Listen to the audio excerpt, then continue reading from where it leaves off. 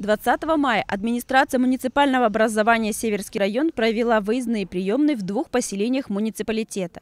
Заместители главы администрации и руководители служб района начали работу в Михайловском доме культуры.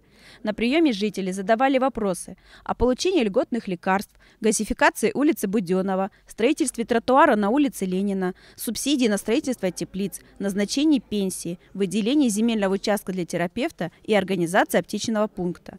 Первый заместитель главы администрации Марина Наумейко подвела итог работы. Данные разъяснения взяты на исполнение.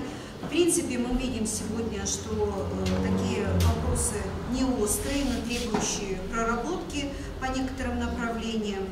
Э, конечно, наверняка таких вопросов мало поступает по одной причине, что главой, главой поселения, администрацией поселения на местах эти вопросы все отрабатываются. После чего работа выездной приемной продолжилась в Доме культуры станицы Львовской. Жители поселения задавали профильным специалистам вопросы о частых отключениях электроэнергии, предоставлении земельного участка для пастбища, развитии аграрного туризма, оснащении физиопроцедурного кабинета Львовской амбулатории и социальных выплатах на детей.